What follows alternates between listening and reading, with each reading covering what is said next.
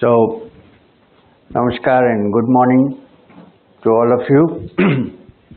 I'd like to start with a, an old Sanskrit sloka which is chanted before the start of anything auspicious and good.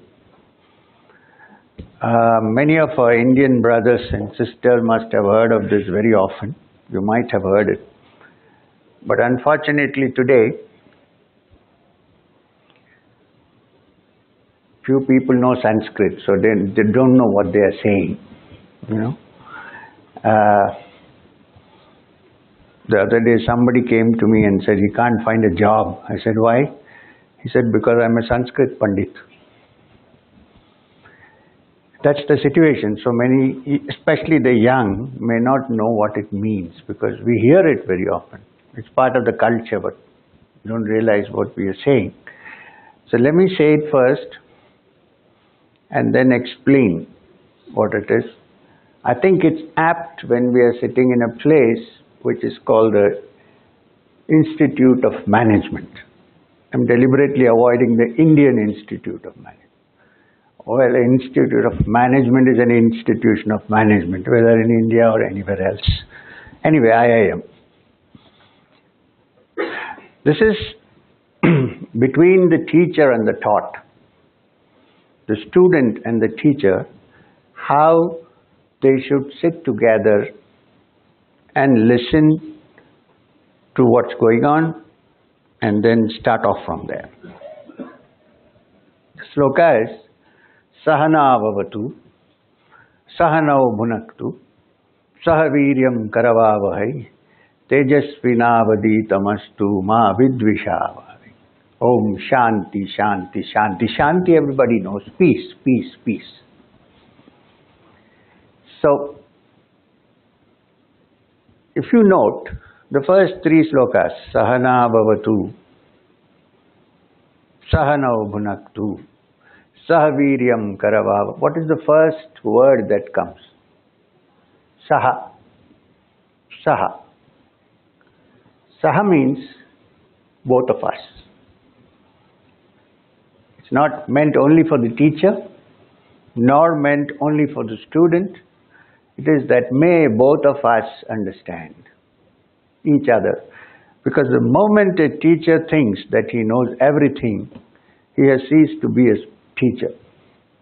The teacher is one who is all the time a student, who learns.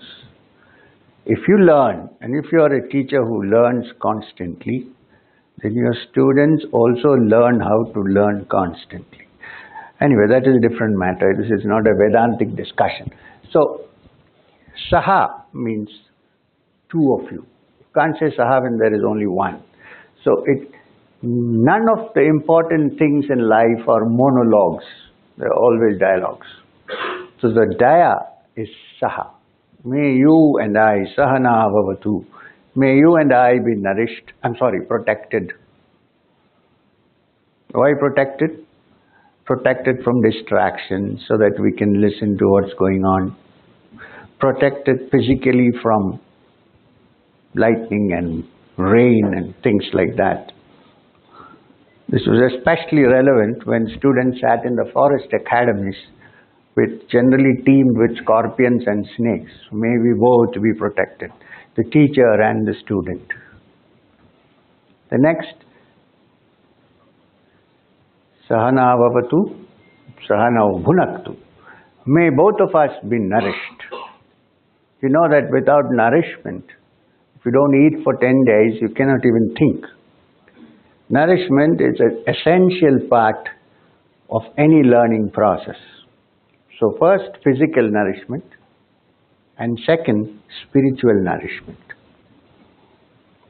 So that you get, what do you say when you are thinking about something very seriously? You say food for thought, right? So thought also requires some food.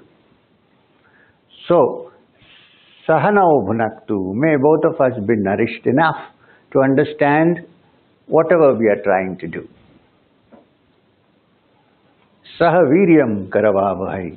May the virya, the virility in both of us, the energy in both of us increase. Tejas Vinavaditamastu. May the Tejas, the spiritual uh, radiance increase in you and I not only for me. Makes no sense if only my spiritual radiance goes up. What about you? Tejasvinavaditamastu ma vidvishavahai. Now this is very important. Let's not fight or quarrel with each other. Because a dialogue is different from an argument. In an argument, it's a, almost like a quarrel because I'm saying something, I think I'm right. You say something, you think you're right. We can't meet. It's different from a discussion. What is a discussion? A discussion is where I and you sit down together on a bench on a beautiful evening in a nice park. Your IIM looks like a good park anyway. And then examine the problem together, you and I. Not saying that, oh, I know everything. And you say, hey, don't talk, I know all this stuff.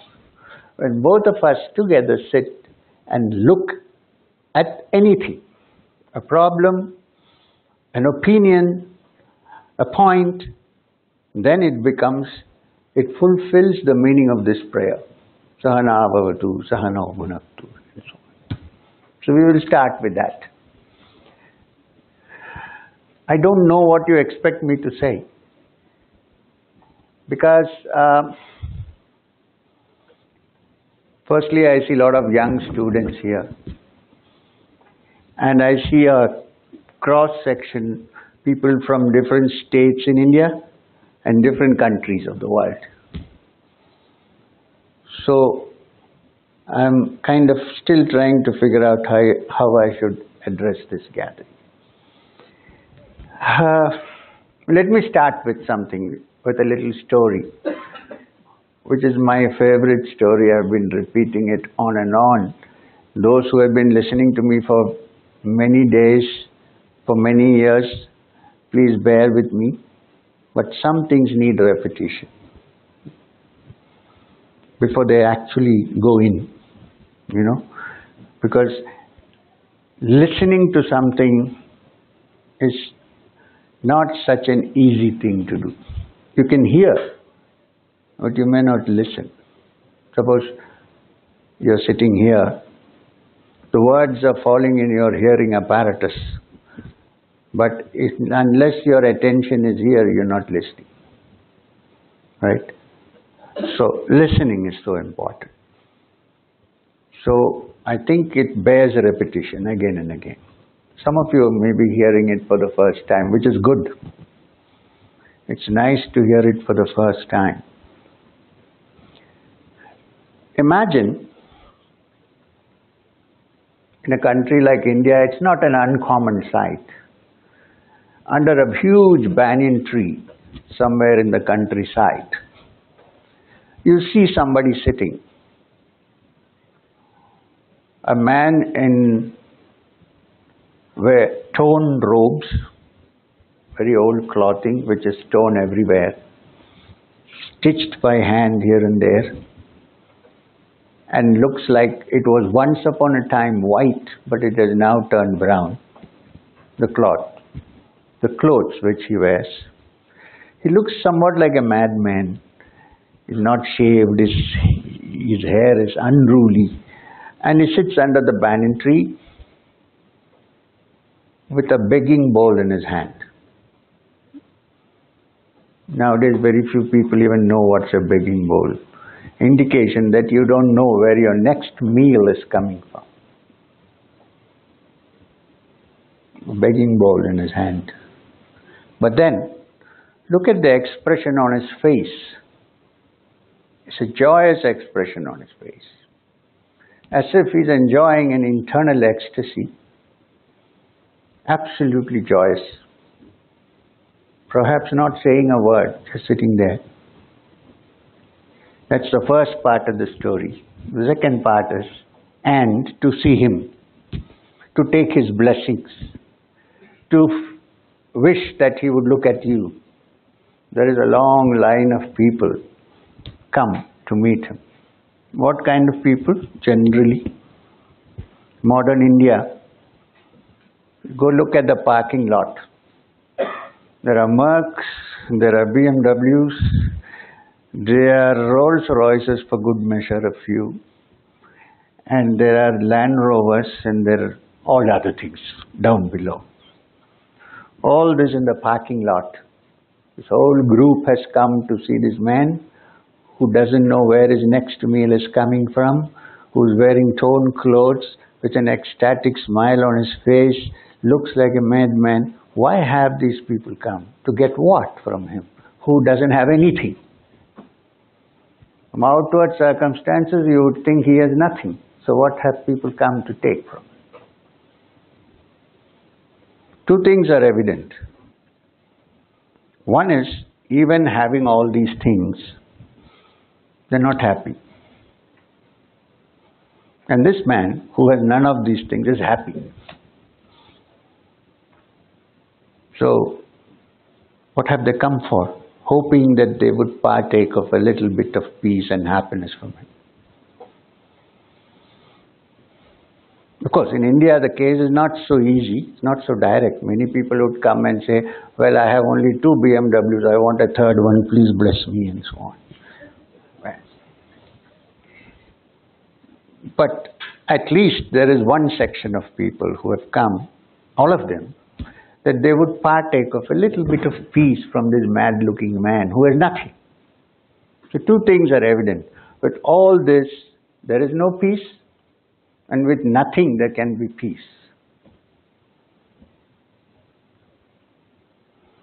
And if this peace is in this man, this peace and tranquility and blissful ecstasy is in this man's heart, since all of us are human beings, it's evident that it should also be in us, be in us even though we don't know where it is or how to find it. This is the situation. Now,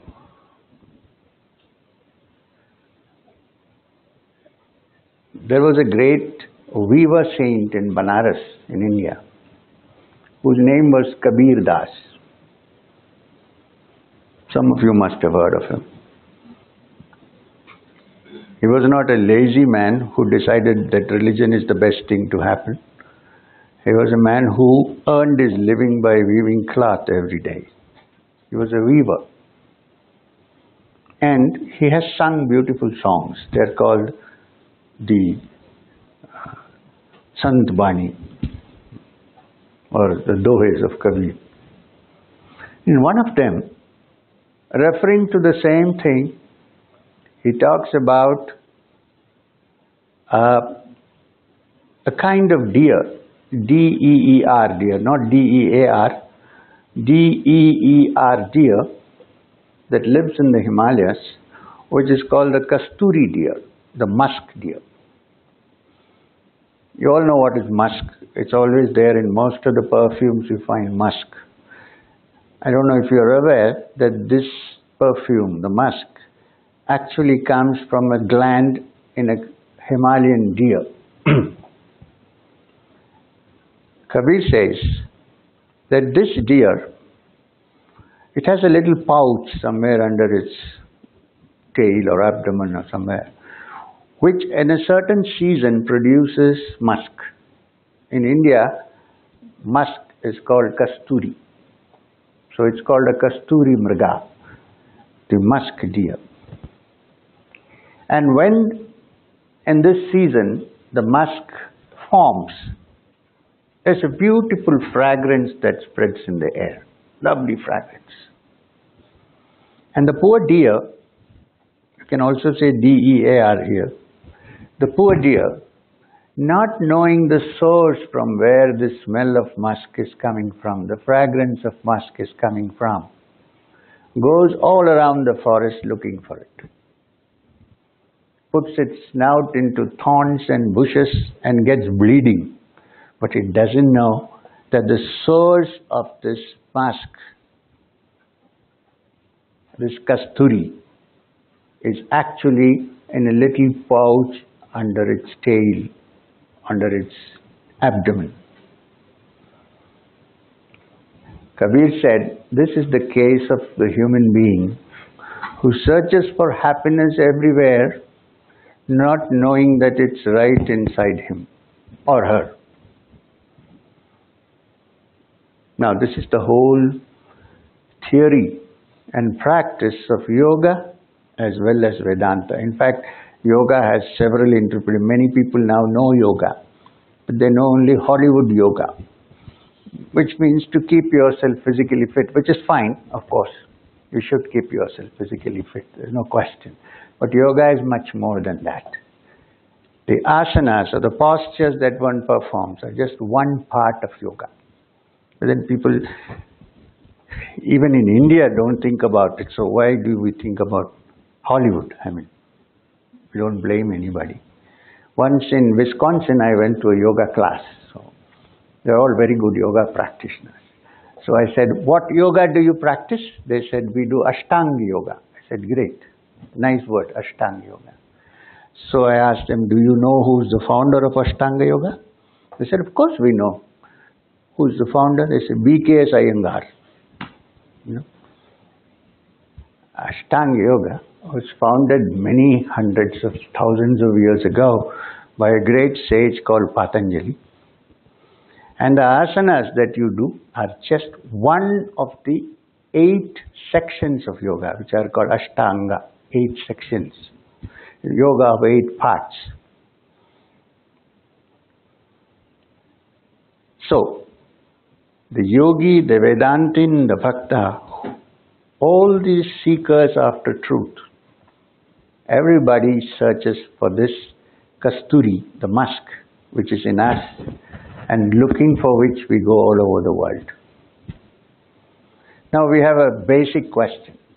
What does every human being want? Nobody wants kasturi, I agree, okay. So what does every human being want? In this world, what is it that every sane human being seeks? Let's forget about religion, philosophy. Practically, what do we look for? What are we looking for? happiness, peace, tranquility. If that is not there, does anything else matter? Tell me. You can have everything, but if there is no peace in you, or no peace at home, what does it matter? So, happiness is what every living being searches for. There is nobody who doesn't, unless we are not okay here. Sometimes I think it's better that you're not okay here. The civilization that we have is thousands of years of perfect sanity. I wish somebody went mad. Maybe things would have been different. Anyway, so here we are. The happiness that we seek. And do we come across it? We think we do. But then the very fact that the next 10 days later we are looking for something else means that we have not finally come to it. I think, well, if I have this, this, this, I'll be happy. Yeah, I'm, hap- I'm happy for a short while. Then I say, no, no, no, no, I need that also to be happy. Okay? I work very hard, I acquire it, then not satisfied, I have to move forward. It goes on and on. It doesn't stop. And by the time we think it has stopped, we are not there. We are out of the scene. Is there anybody who lives forever? I know it's not a good subject for young people, but please remember that nobody lives forever. And by the time you have worked out all your things, it's time to go. And then death, you know why we are afraid of death? We are not afraid of death so much because it is unknown, but because when we die, we cannot take all the things that we want with us.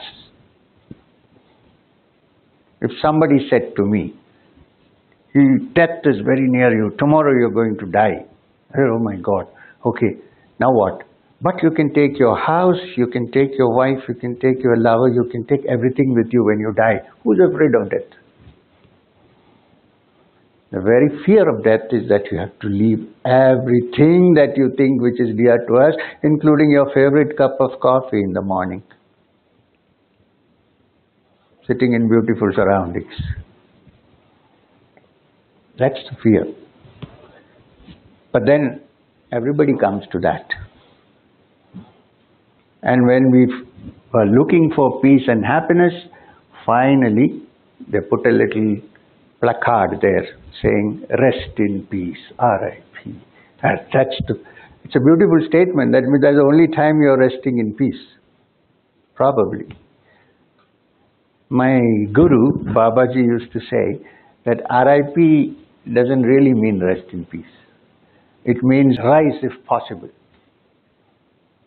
Nobody has risen yet. So, yeah. So, this is, I'm not, please don't think I am painting a very desolate picture of life. I'm not. I'm just showing you the truth, the facts of life. So, therefore, Kabir Das said, this joy and happiness that we seek is natural. Everybody seeks for it but you're seeking it in the wrong direction. Said instead of seeking it outside, if you can turn around and seek it within you, you probably would find the fountain of happiness, which when we experience in little bits, we think is coming from outside. Actually, it's coming from me. I am the one who is experiencing happiness. When I eat an ice cream, the happiness is not in the ice cream, it is in my enjoying it. The Vedantic theory is that every time somebody enjoys something in life, a little bit of that internal enjoyment is manifest. So we think we are enjoying because of. I give you another example. I think I will be very happy if I uh, own a BMW, let's say. Young people do that in the West. What do you do after your first salary? I'm trying to get a BMW. Good. Nice car, fine. But then I think I'm going to be happy. Yes, and I am happy. Once I get the BMW, I touch it. Oh, beautiful. And then I wash it every day and keep it clean and sparkling. I drive it out. Oh, it's smooth driving. It's even more better because my girlfriend is on the left side. Great. Wonderful. Beautiful. Okay. Now I see, ah, I'm very happy.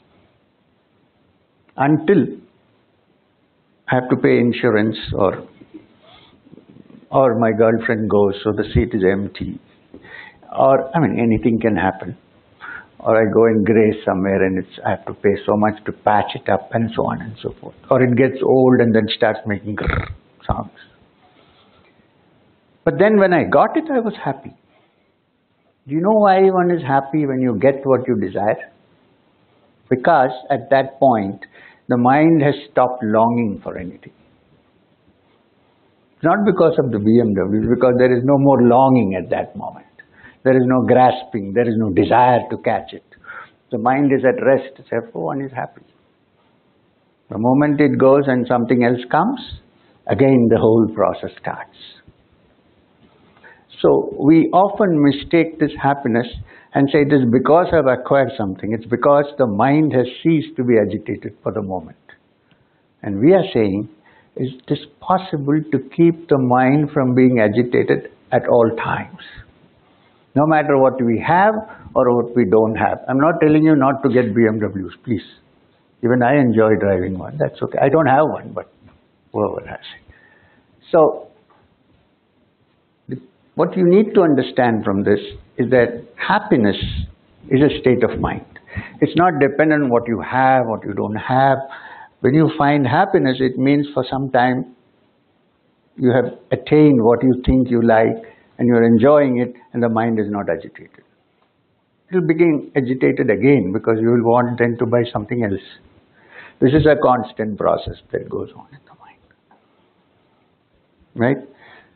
So, we are saying that apart from the world that we see outside, there are other dimensions. There are greater horizons for the mind to expand. We are limited to the world which is only visible to us through our five sense organs.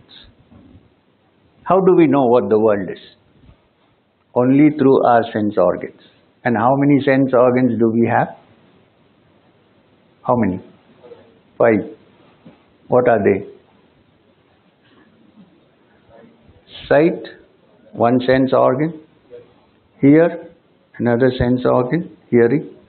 Taste, smell and touch. So all our experiences are based only on these five organs that we possess. Every human being has this. Right? Now, when I say I have formed my own rational framework in my life based on my experiences, and I'm not going to move out of this little thing which I have formed.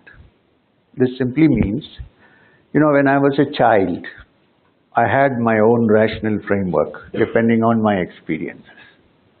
When I grew up and went to college from school, it changed. I have a different framework, which I call my logical, rational framework. And then in my teens, I thought this is what is absolute truth because I have learned it. And this is my experience and this is the truth until you got married and everything shook. I mean, I'm not saying it happens to everybody, but then you have a different framework then, right?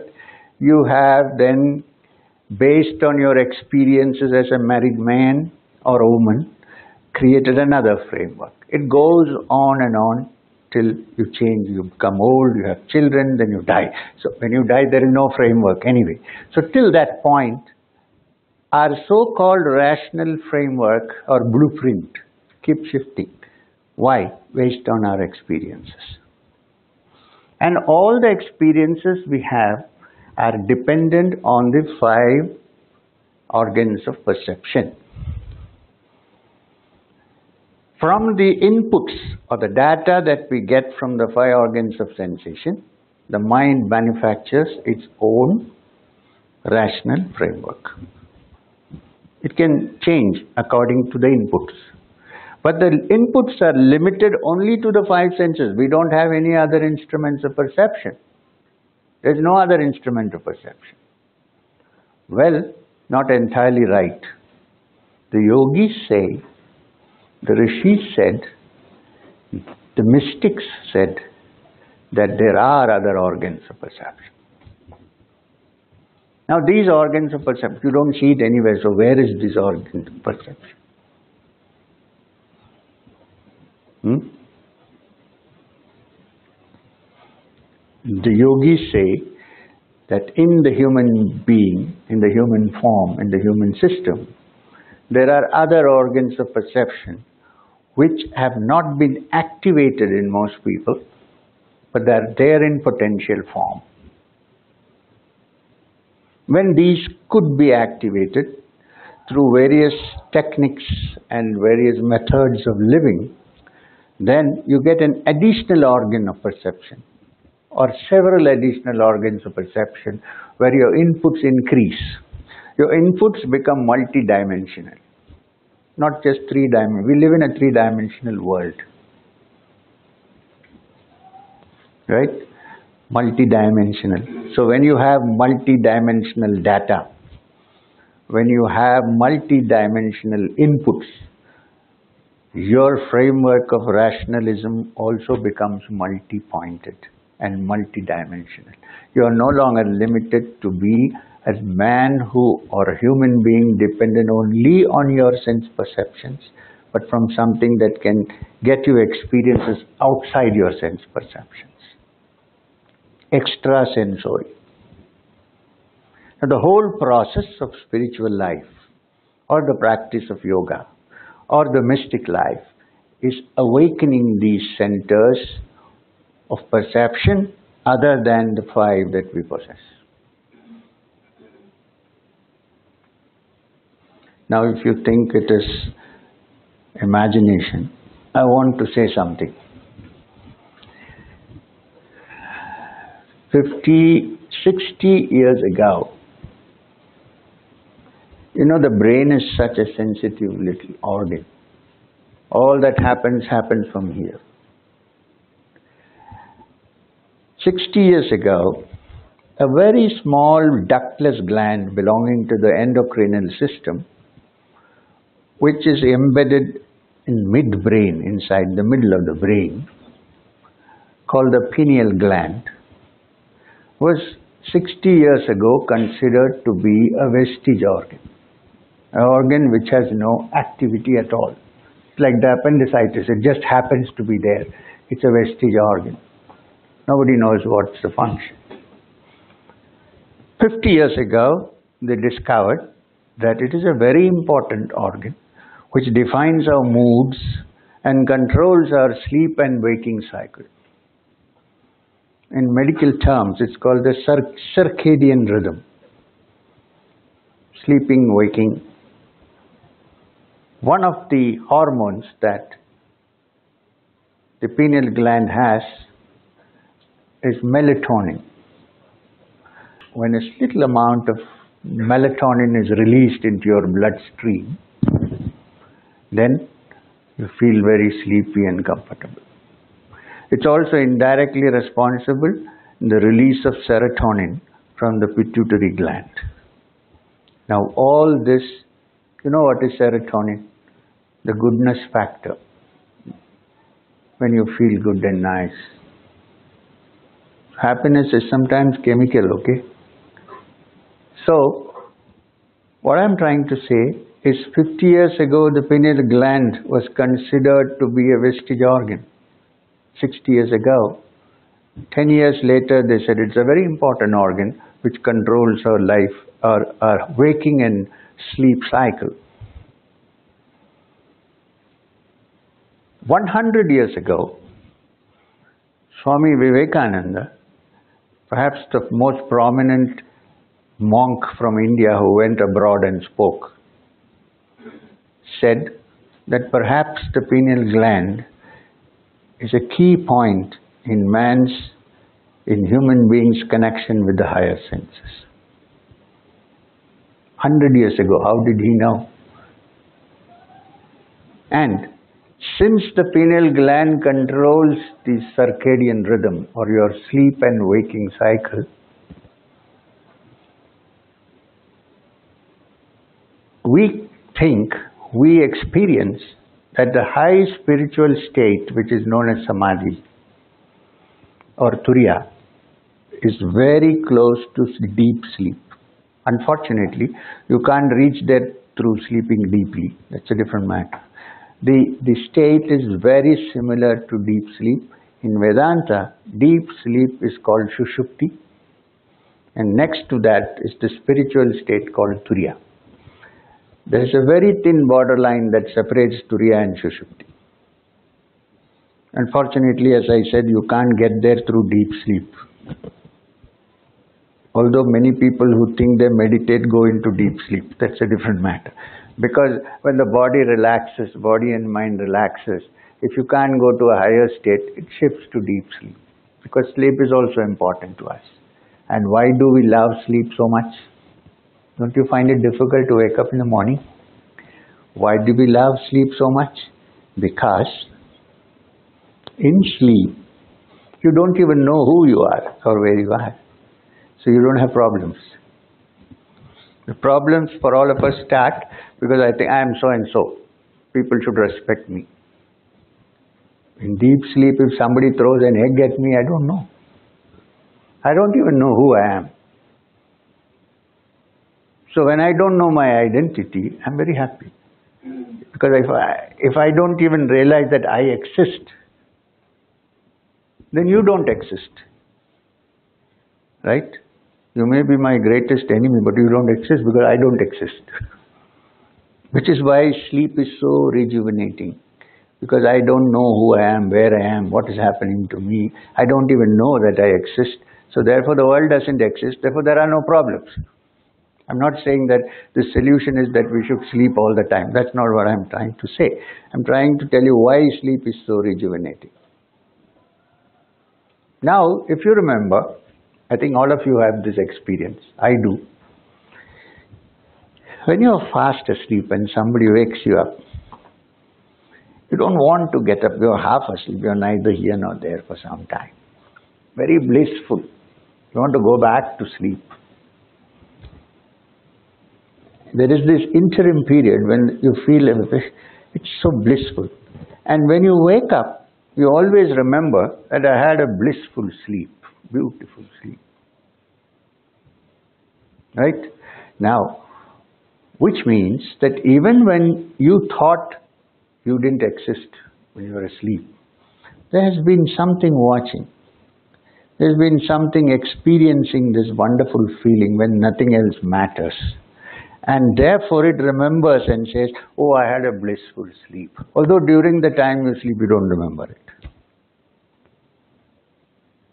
So which I'm, or I'm trying, what I'm trying to say is when thoughts have become minimum, and the mind has completely relaxed and is almost not there. There's just pure awareness, which we call mindfulness. Then there is great bliss and peace, just like the state when you are neither sleeping nor waking up in between. But you're not conscious of it generally. Try to become conscious of it. There's no need of any complicated meditation techniques. But the moment you try to become, you generally slip into sleep because your body and mind have not been trained.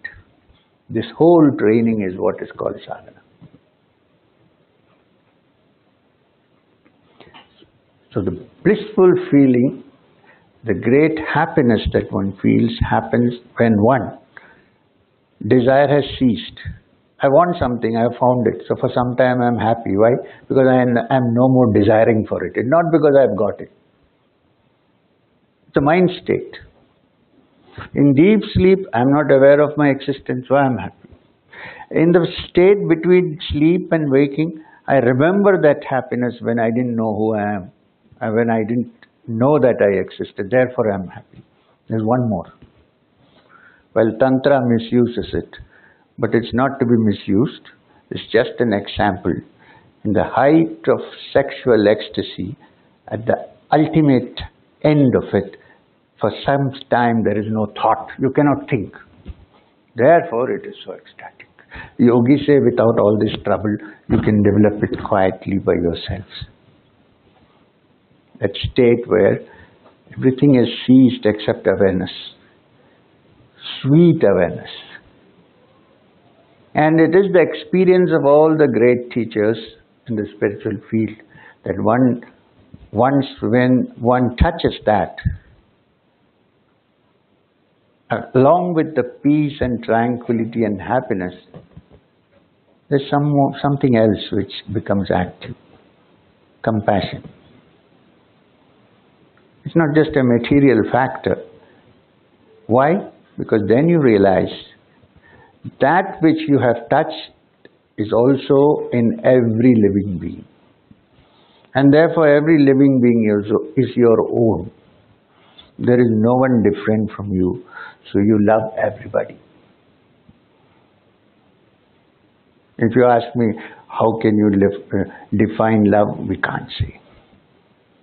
Even ordinary so-called material love, let us say, I don't like the division, but for practical purposes, when two young people are standing in the bus stop looking at each other, you go and ask them, what are you looking at? What are you feeling? They can't explain. They even made a Hindi movie, Kuch Kuch Hota Hai. Nobody knows kya hota hai. Something. If this is ordinary love, then what about that where everyone is one? Where you love everybody because in that state of complete tranquility and peace, there is nobody separate from you. It's all one. Someone even said, when you are alone, it simply means all one.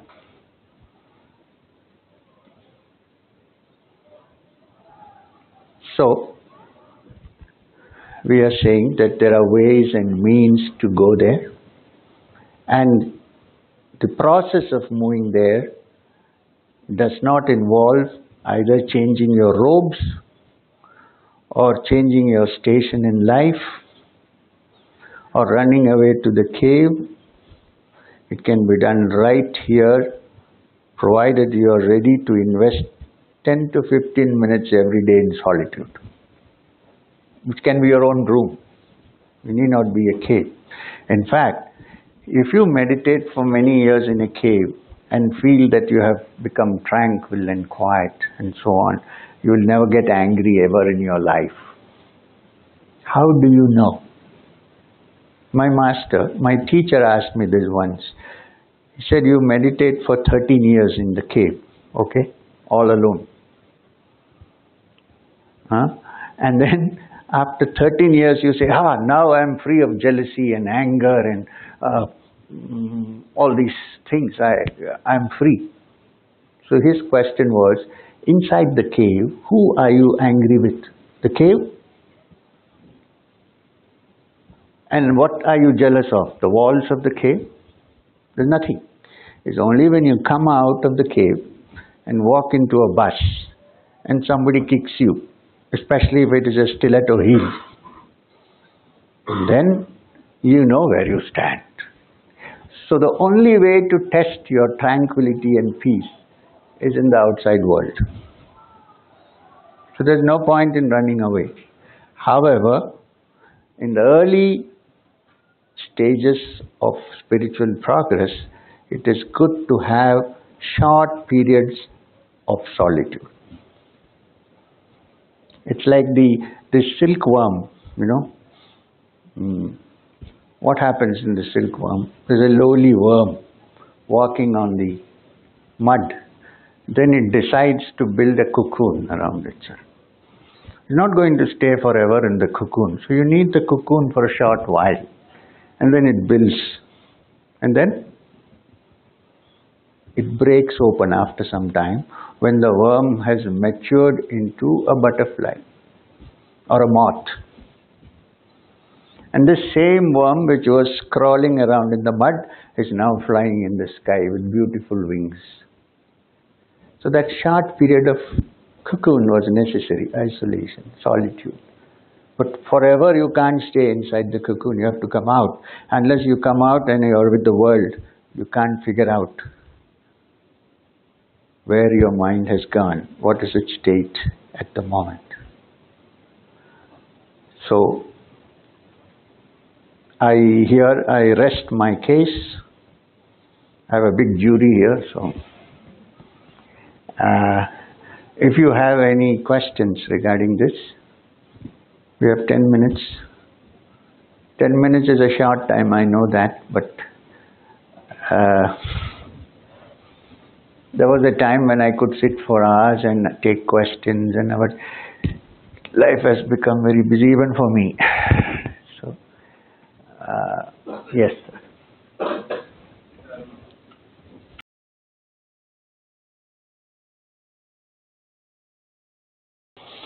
Now, this is a beautiful question.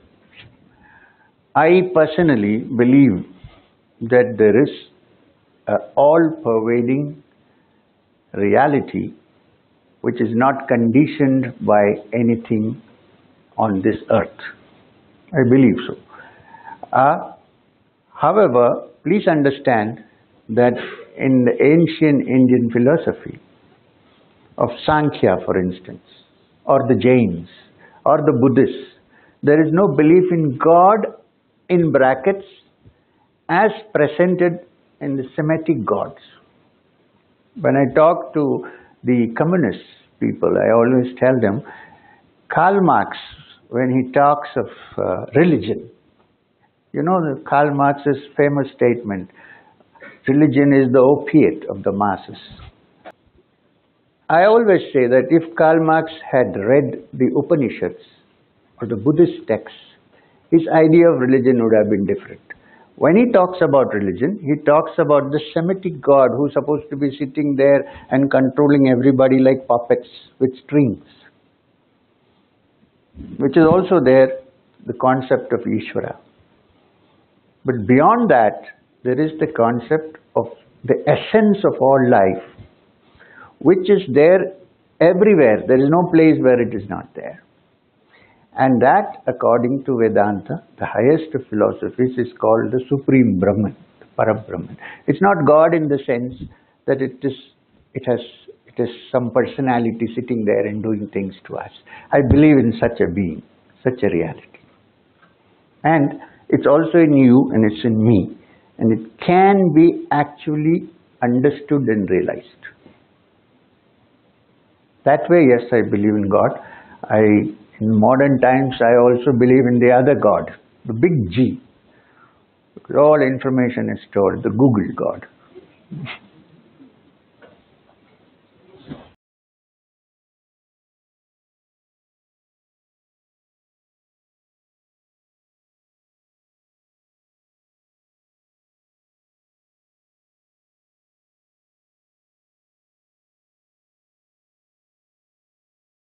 You know, if you have a close relative, like your mother or you, who is suffering, now if you say, oh, let her suffer, I am being tranquil, that's not the way to be spiritual life.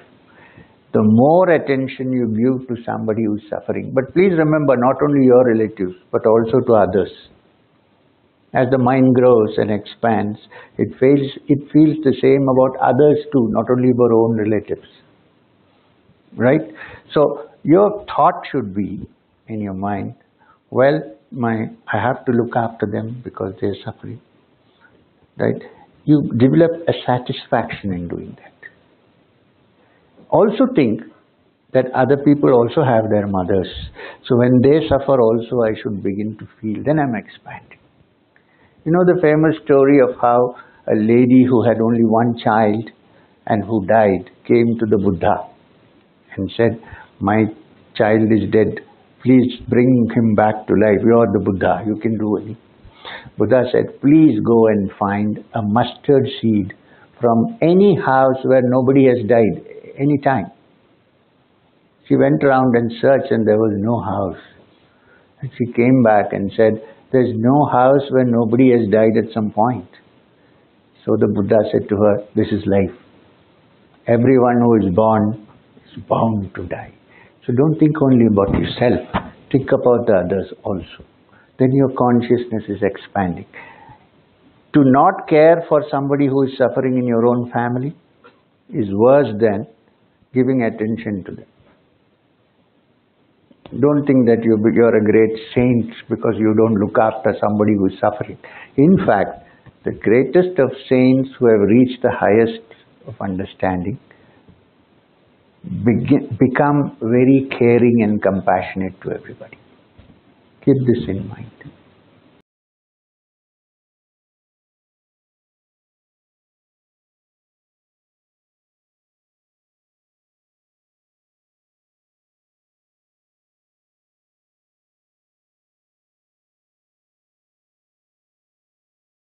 You see, sir, these young people sitting here, both of us have gone a little on the other side.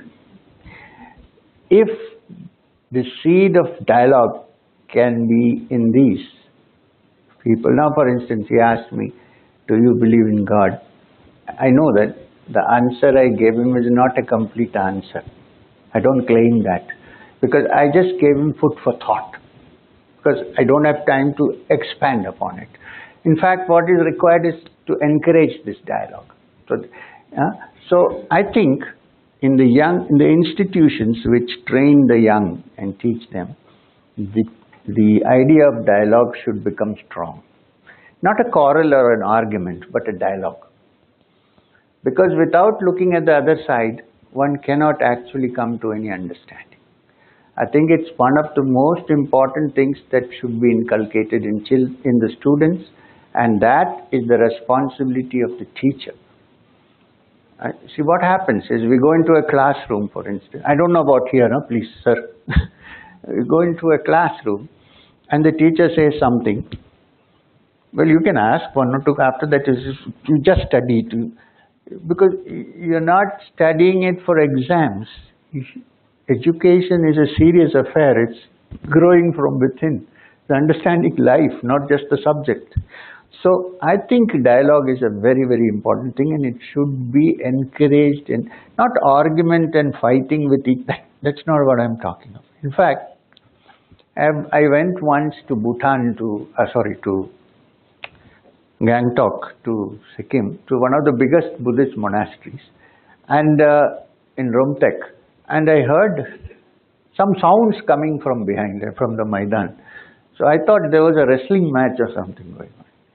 So I went there and I found that these young monks are lined up and there is a teacher and they're having a discussion. And before somebody puts forth his point, he does this as if he's going to wrestle. You know, in India, traditionally, before you wrestle, you hit your thighs. So these guys first do so. That was the sound that I was hearing. And then it's as if, yeah, here, I have an answer, now you discuss. There is no bad blood among the discussers. I think it's, a, it's an important point that dialogue should be encouraged. Now, in this matter, I have to also say that nobody really knows everything. Hmm? So we should give that leeway too when we ask a question. Uh, for instance, somewhere along the line, people think that a spiritual person should know everything. Not necessarily so. As long as you have a human brain, however advanced it is, it cannot be omnipresent, omniscient, and omnipotent. Please understand this. Otherwise, what happens? You give that idea, you consider somebody to be omnipotent, omnipresent, and omniscient. And then after some time, you find that he has some faults. Then the whole thing collapses. In the beginning itself, decide, no, he may be better than me, he may be a great being, but as a human being, he may have his imperfections.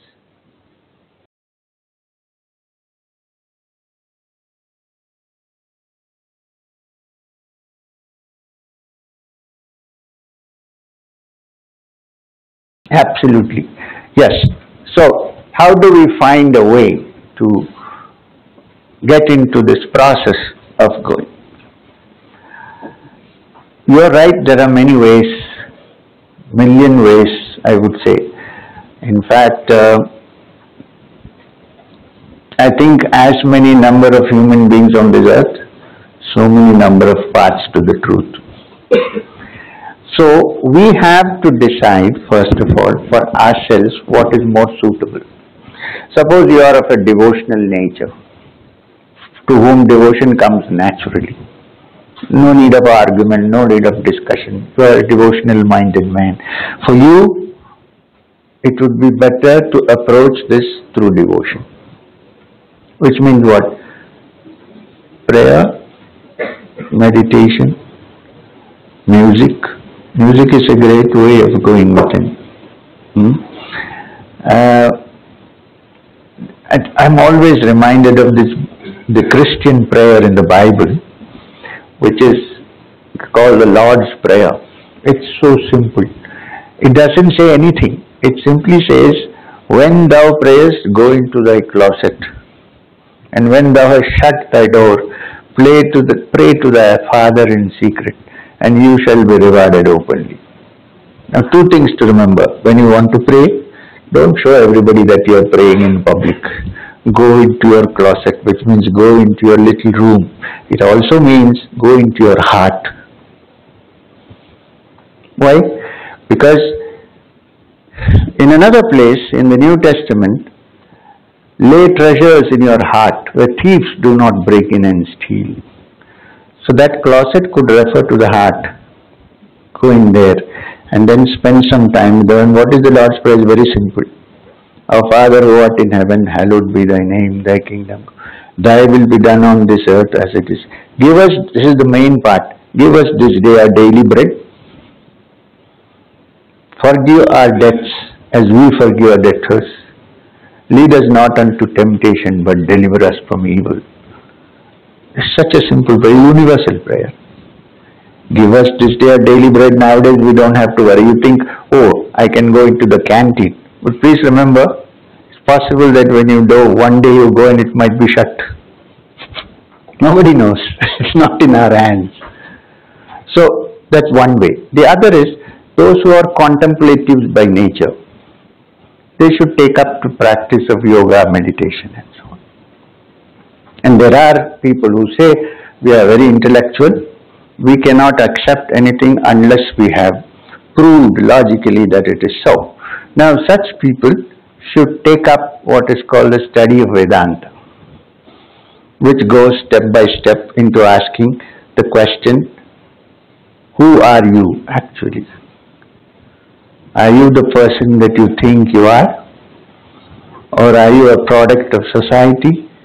Or are you multiple personalities trying to gather and become one in some way. When people tell me that somebody is schizophrenic, I tell them that we all human beings are schizophrenic in some way because we have, what is the meaning of schizophrenia? Split brain. Right? It means you, you, you are sometimes one thing and sometimes the other. All of us are in some way. Sometimes you are monsters, sometimes you are good people. Already we are schizophrenic. The whole world is schizophrenic in a way. But when the symptoms become too much, then you say, oh, this fellow is not well. Uh, so we should prevent ourselves from getting to that state where we are put in behind bars. So we are. So try to integrate these personalities together into some source. For that, I would recommend for you, being a young person, I would recommend that you start by reading the complete works of Swami Vivekananda. It will be a great help. First of all, they are not sectarian, they are completely open discussions, they are beautiful. Especially, if possible, read the section called Raj Yoga, where a discussion on Sankhya and Yoga has been very nicely in plain words given. And uh, if you can get hold of my autobiography, please do. I'm not trying to sell my autobiography, but so get hold of uh, complete works of Swami Vivekananda.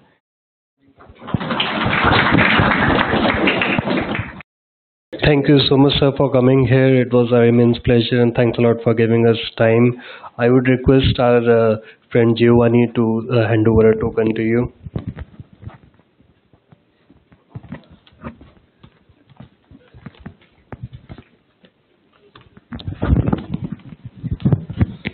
Um, so, uh, in name of everyone, I would like to um, give this for you, which is our donation for your intervention.